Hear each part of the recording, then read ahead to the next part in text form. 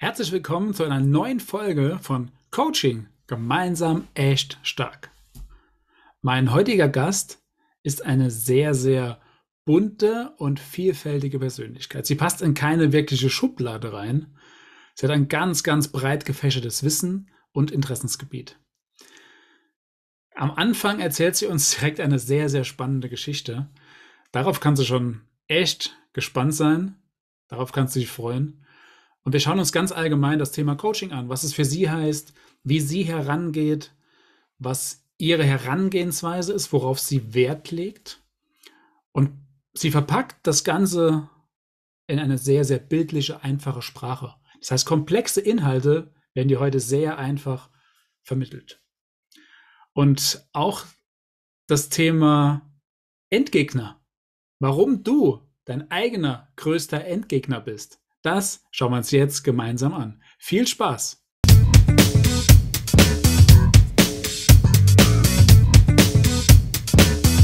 Mein heutiger Gast, sie passt in, na, sie passt in keine Schublade, denn sie ist bunt und vielfältig.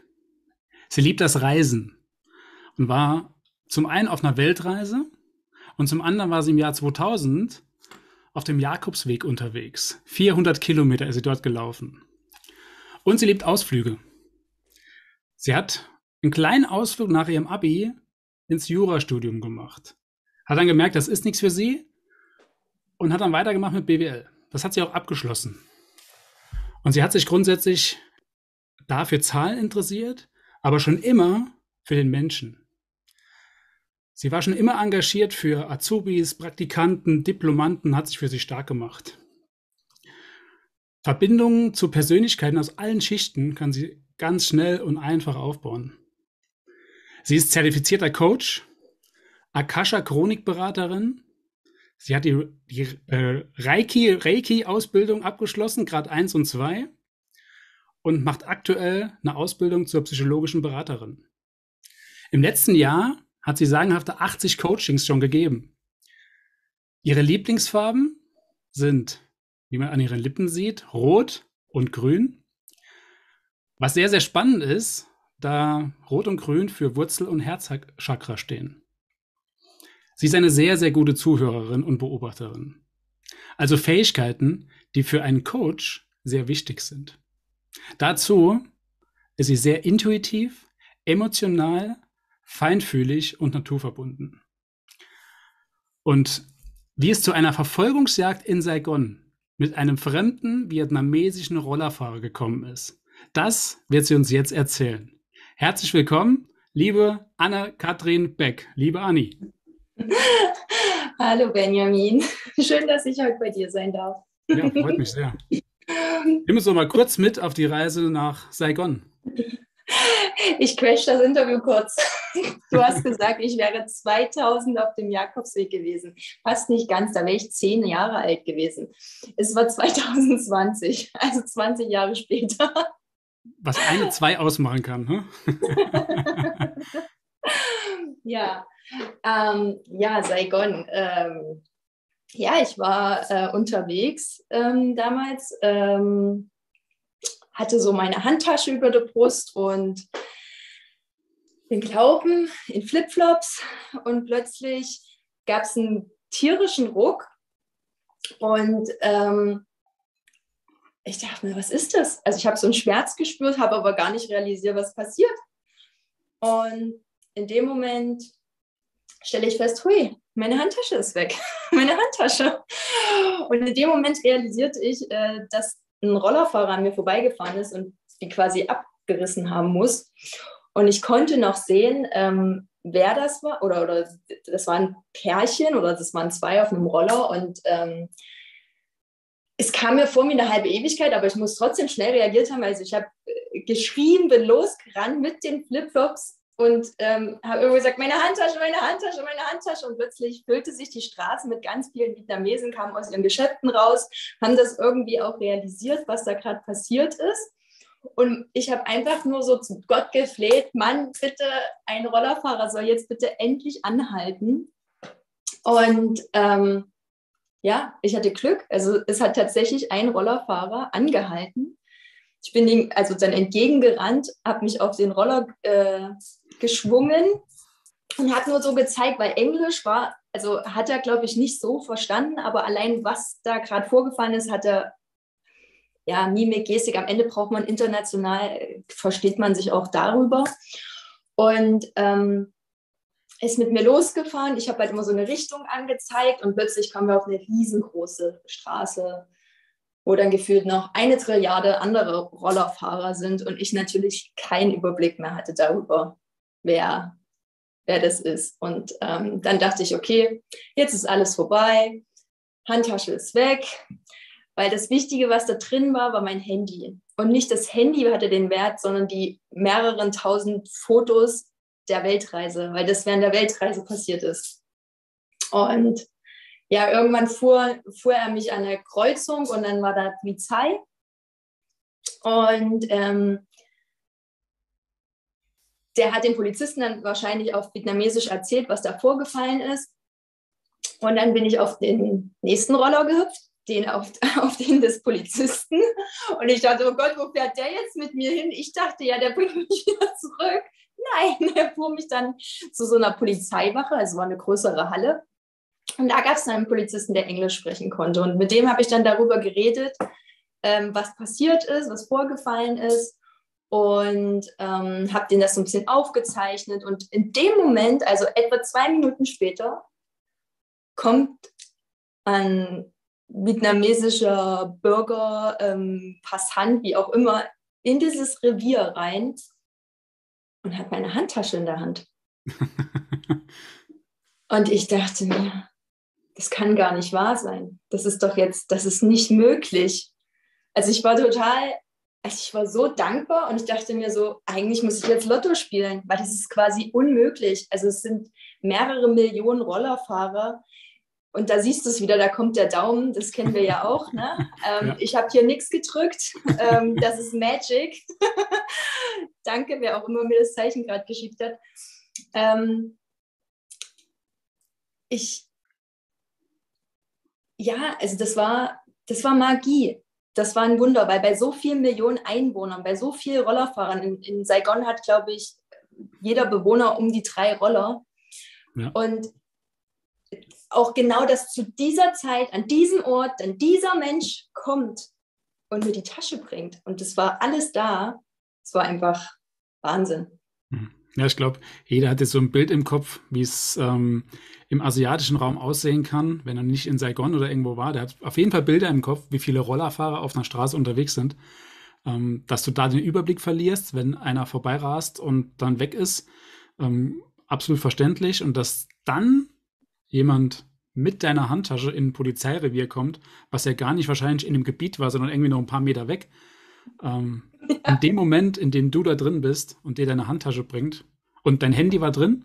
Ja, ja, das Handy war drin. Das war ja so krass. Es war alles, also klar, die Tasche war zerrissen, aber es war alles drin. Also Bargeld oder sowas hatte ich nicht, wäre mir aber auch eh scheißegal gewesen. Es ging nur um die Bilder, die da drauf ja. waren. Also um die, die, die Momente, die ich quasi damit eingesammelt hatte, weil davor waren schon mehrere Monate vergangen ähm, während der Reise und es waren mindestens 30.000 Bilder, die da schon drauf waren. Mhm. Ja. Ja, Wahnsinn. Und du, wie du gerade schon sagst, das Geld war gar nicht so wichtig, ähm, auch wenn es jetzt vielleicht die halbe Urlaubskasse gewesen wäre. Entscheidender für dich war in dem Moment wirklich die Erinnerung, ja. ähm, die Fotos. Ja, und das, das spiegelt sich ja auch irgendwo in deinem Werdegang wieder. Du hast mit Zahlen zu tun gehabt, BWL. Du hast auch in dem, in dem Bereich ähm, gearbeitet. Und jetzt geht es ganz, ganz stark um den Menschen. Der Mensch ist im, im, im Fokus, der Mensch ist im Vordergrund. Ähm, du hast ja auch, wie ich eben schon gesagt habe, mehrere Ausbildungen gemacht, mehrere äh, ja, Ausbildungen, die zusammenpassen. Also nichts, was jetzt komplett verschieden ist, sondern alles ja. geht um den Menschen. Ja, es, geht, es geht ja um den Menschen einfach. Ähm, Warum hast du dich dafür entschieden? Was ist der Grund, warum du diese Ausbildung gemacht hast, warum du ähm, Coach bist? Ja, also wie du es ja schon gesagt hast, letztendlich habe ich eigentlich in, in, egal in welcher Station meines Lebens, habe ich irgendwie immer so mit Menschen zusammengearbeitet. Den Menschen fiel es immer leicht, sich mir anzuvertrauen. Ähm, ich habe oft Potenziale in Menschen erkannt und ähm, habe sie da gefördert, habe hab sie darin unterstützt. Und das war alles immer sehr intuitiv. Also, ähm, dass ich da ja einfach so, weil ich so bin, wie ich bin, Dinge weitergegeben habe und habe das auch gespürt. Und irgendwann war dann der Punkt, ähm, ja, dass äh, ich immer mehr gemerkt habe, dass das halt einer meiner größten Stärken ist. Es wurde mir auch wieder gespiegelt, immer wieder von Vorgesetzten, Anni, du, du, du bist super ähm, empathisch, du kannst super mit den Kollegen umgehen. Ähm, einer meiner Chefs hat auch immer gesagt, ja, geht zur Anni, wenn ihr ein Thema habt, ihr könnt es nicht mit mir klären, dann besprecht es mit ihr. Sie geht damit vertrauensvoll um und filtert das und gibt es auch an mich zurück, dass ich irgendwo agieren kann. Also das waren immer, ja, es war immer so, dass ich würde auch schon sagen, als kleines Kind äh, da habe ich schon auch mit den Erwachsenen so, ja, wie so ein, wie so ein kleiner Berater oder, oder naja, so ja. konnte ich schon gut zuhören und so und, und, und. Aber es hat sich alles so vor deinen ganzen Ausbildungen schon kristallisiert. Das war alles schon vorher. Ja, das war schon, das war eigentlich schon, schon, schon immer da. Ich habe mir das, glaube ich, nicht so erlaubt. Ich muss sagen, ich war dann ähm, schon noch sehr mh, hm, verstandsgetrieben oder sage ich mal ähm, durch so diesen Leistungsdruck, der uns so ähm, von der Gesellschaft ähm, suggeriert wird, ähm, habe ich damals tatsächlich so vernunftsmäßig entschieden, habe ich geschaut, okay, was wird denn auf dem Arbeitsmarkt gebraucht? Ähm, ähm, womit, womit kann ich meinen Lebensunterhalt beschreiten? Und habe mich halt dann eben für so ein, für so ein ähm, betriebswirtschaftliches Studium entschieden, habe mich da auch vertieft in einer, in einer Richtung, die schon auch männerdominiert ist und bin davon ausgegangen, okay, ich meine, jeder kennt es, Frauenquote, dann habe ich vielleicht als Frau bessere Chancen auch noch in dem Bereich. Und im Nachhinein ähm, habe ich dann gemerkt, ja, aber das ist gar nicht, also ich bin super dankbar, dass ich das alles gemacht habe und das ist so wertvoll, weil dadurch habe ich so viele wahnsinnig tolle Menschen kennengelernt und das hat mich ja auch geprägt und weitergebracht. Und ich hatte die Möglichkeit, in die verschiedensten Bereiche Einblicke zu gewinnen, aber es hat mich, ähm, es hat mir trotzdem gezeigt, hm, es ist aber eigentlich nicht das, was mich glücklich Da kommt es wieder. Also scheinbar ist alles richtig. Dein Weg war wohl der richtige. Schön, ja. Mhm. Und aber hätte ich die Erfahrung nicht gemacht, hätte ich nicht sehen können, dass das so, dass, dass mich Menschen so faszinieren. Ich hätte wahrscheinlich nie diesen Einblick gehabt. Und dann, dann kam Corona. Ähm, das hat, glaube ich, unheimlich viele Menschen getroffen. Und es hat bei mir auch äh, nochmal ein Umdenken angeregt. Also auch schon davor ist etwas sehr Einschneidendes in meinem Leben ähm, passiert, was, was mich nochmal zum Umdenken veranlasst hat. Aber in der Zeit von Corona bin ich umgezogen, zurück in meine Heimat ähm, äh, nach Leipzig und war da auch in Kurzarbeit und habe da einfach gemerkt, nee, du machst das jetzt. Du guckst, du guckst, was es gibt am Markt im, im Bereich Coaching, weil ich hatte damals schon mit einem meiner Kollegen gesprochen, der hat irgendwann gesagt, nee, was möchtest du machen? So, weil ich, er war gerade auf, auf dem Weg dahin, sich vielleicht für eine andere Stelle zu bewerben. Ich habe gesagt, mach das auf jeden Fall, du bist hier völlig, ähm, also du hast viel mehr Potenzial als das, was du hier ausleben kannst. Und er hat mich dann gefragt, was willst du machen? Und ich so, ja, ich glaube Coaching. Und da hatte ich das das erste Mal laut ausgesprochen und dann, ähm, wie gesagt, in der Corona-Zeit hatte ich dann deutlich viel mehr Zeit äh, durch diese Kurzarbeit und dann habe ich gesagt, okay, ich mache das jetzt ich mache das und ich habe es gemacht und äh, das war das Beste, was ich tun konnte, weil ähm, ich da nochmal darin bestätigt wurde, was ich tue. Also, dass es eigentlich schon immer da war, dass es super intuitiv alles schon in mir vorhanden war und jetzt konnte ich es halt noch mit, mit bestimmten Methodiken ähm, ähm, unterlegen und ähm, stärken und ja, also es ist so, ja, ich bin dankbar, dass ich, dass ich den Schritt gegangen bin. Und ähm, auch jetzt gerade so in diesem psychologischen Berater merke ich so oft Dinge, wo ich so denke, aha, das ist eine Methode. das mache ich ganz intuitiv mein Leben lang schon so. Und das ist, das zeigt mir immer wieder, okay, Anni, das ist jetzt so der richtige Weg, den du gegangen bist. Hm. Kurzer Break, denn ich habe dir was mitgebracht.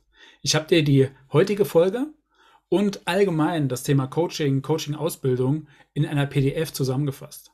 Die PDF kannst du dir kostenlos runterladen. Hier unten in der Beschreibung, in den Show Notes, in der Videobeschreibung findest du den Link. Kannst du draufklicken, kriegst kostenlos das PDF zur Verfügung gestellt. Und jetzt viel Spaß weiterhin bei der Folge. Sehr spannend.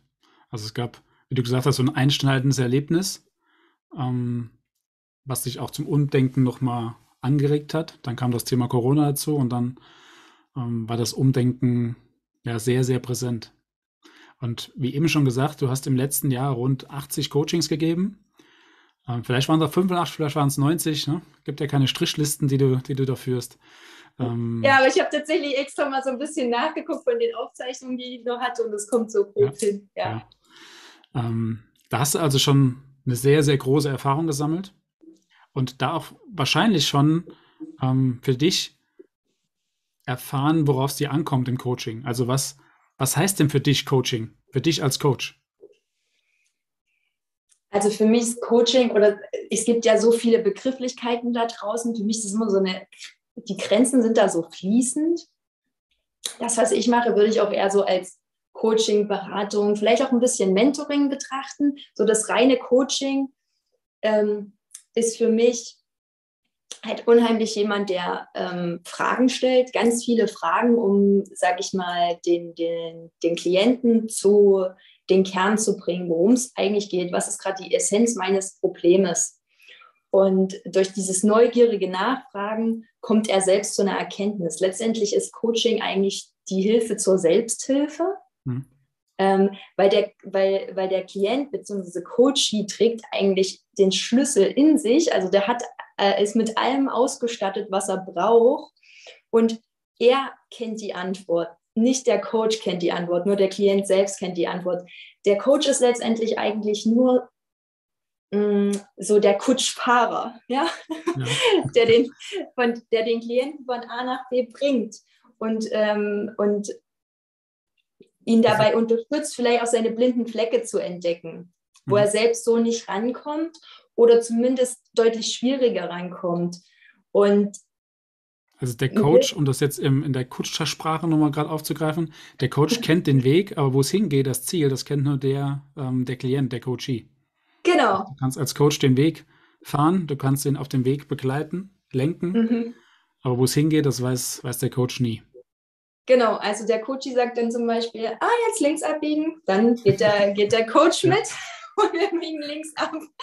Ähm, weil, weil der Coach versucht ja auch, ähm, oder ich als Coach versuche ja auch unvoreingenommen, ähm, den Menschen den Raum zu geben und einfach zu sein. Mhm. Ich versuche wirklich bewertungsfrei reinzugehen und als wäre das ein unbeschriebenes Blatt, was ich noch nicht kenne, zu mir kommen. Ne? Mhm. Dass der dann alles von sich geben kann. Und da fließt halt dann trotzdem halt auch immer noch eine gewisse Form auch von Beratung mit ein, wo man das, das ergibt sich aber immer aus dem Gespräch. Ne? Für mich ist halt auch Coaching, Beratung, das ist halt nicht 0815, das ist halt wirklich immer klientenzentriert, also wirklich der Mensch steht im Fokus und es geht um ihn.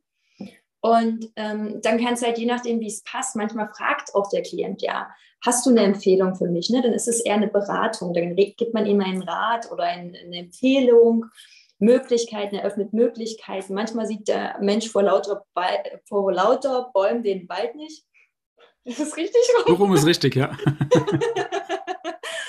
Und da dann da, da kann es dann eben hilfreich sein, wenn, wenn, wenn der Gegenüber das wünscht, dass man da einmal sagt, hier, guck mal, hm. es gibt vielleicht diese Lösungsmöglichkeit, es gebe dieses, es gebe jenes. Schau, was, was, was sich für dich am besten anfühlt und probier es einfach mal aus, ja, einfach Möglichkeiten zur Verfügung stellen. Ja, ja. Am Anfang hast du jetzt hast du noch gesagt, ähm, den wahren Grund zu, zu erfragen, worum es da wirklich geht. Ja? Mhm. Ähm, jetzt nur mal so ganz theoretisch, ich komme jetzt zu dir und sage, hey, ich habe ein Problem mit XYZ, ähm, vielleicht in meiner Partnerschaft oder ich ziehe immer die falschen Partner an. Dann habe mhm. ich doch das, schon, das Problem doch schon genannt. Ja, vermeintlich hast du es gesagt. Das ist oft aber dann das Thema, was erstmal so an der Oberfläche ist. Ähm, wenn du jetzt ein Thema mit deinem Chef beispielsweise hast, ähm, wäre jetzt erstmal herauszufinden, ja, was ist denn da genau vorgefallen? Was waren das für Rahmenbedingungen? Und dann wieder herauszufinden, okay, was an dem Chef hat dich denn getriggert? Also was, was, was ist denn eigentlich ähm, der Auslöser? Also es ist ja nicht einfach, ich stelle einen Menschen und der ist jetzt doof und das ist jetzt mein Problem. Ja, aber warum ist denn der blöd? Also was, was, was sind deine Knöpfe, die dieser andere Mensch bei dir drückt? Und ganz oft haben diese Personen im Erwachsenenalter eigentlich nur eine Symbolfunktion oft stehen die eigentlich für Menschen und Erfahrungen, die wir ähm, in unserer Kindheit oder in unserem jüngeren Leben ähm, erlebt haben. Weil gerade im Alter von 0 bis 6, 7 Jahren machen wir die meisten Erfahrungen, werden extrem geprägt. Es werden Glaubenssätze, also es entstehen Glaubenssätze, die dann ein Erwachsener bis ins erwachsene Alter mit sich trägt. Und dann werden, werden sozusagen neue Spielfiguren, sage ich mal, auf dem Schachbrett tauchen dann auf. Und die klopfen dann halt bei dir an und, und öffnen nochmal die Wunde, die dann vielleicht aus der Vergangenheit, also die halt in der Vergangenheit tatsächlich entstanden ist, der Klient sich aber nicht erklären kann, weil als Kind sind wir, sind wir nicht in der Lage, zum Beispiel, wie wir, oder wissen wir gar nicht, wie wir mit Emotionen umgehen. Beziehungsweise ein Kind interpretiert auch so viele Dinge auf die verschiedensten Weisen und das prägt sich eben bei dem, bei dem Kind und dann dem, bei dem Erwachsenen ein. Und erst als Erwachsene haben wir dann die Chance, das letztendlich aufzulösen. Ja. Also und wir sind noch nicht so, so weit, dass die Gesellschaft so ist, dass sozusagen keine Konditionierung, dass keine Glaubenssätze entstehen. Also da ist die Erziehung halt auch noch, also sage ich mal, in den Kinderschuhen, dass man da vielleicht auch anders mit den Kindern umgeht. Und solange das jetzt, wie wir oder alle die Generationen, die jetzt so in unserem Umfeld sind, die werden einfach ganz viel aus der Vergangenheit mitgenommen haben. Ähm, also, wenn ich jetzt zu dir komme mit diesem Thema, ne, du hast eben das, das Beispiel mit dem Chef genannt und ich sage zu dir, hey, ähm, ich komme meinem Chef nicht klar, dann ist das für mich erstmal das Problem, aber ich selbst erkenne den Auslöser gar nicht. Das heißt, du als Coach gehst ja mit mir zu dem wahren Auslöser, zu der, zu der Ursache. Genau. Das Symptom ist erstmal, ich komme meinem Chef nicht klar. Und dann geht es darum, ja, worum geht es wirklich? Geht es genau. darum, dass es dein Chef ist oder hast du eine Erfahrung als Kind gemacht, dass du mit mhm. autoritären Persönlichkeiten ähm, aneinander gestoßen bist, was auch immer, ja? Also da ja. geht es dann als Coach im Coaching drum, wir gehen eine Schippe tiefer und noch eine Schippe tiefer und noch eine Schippe genau. tiefer, die du, ich sag mal, ohne Coach sehr wahrscheinlich gar nicht wahrnehmen kannst. Weil das die blinden Flecke sind, die du eben gesagt hast. Es gibt so blinde Flecke, die wir selbst nicht sehen.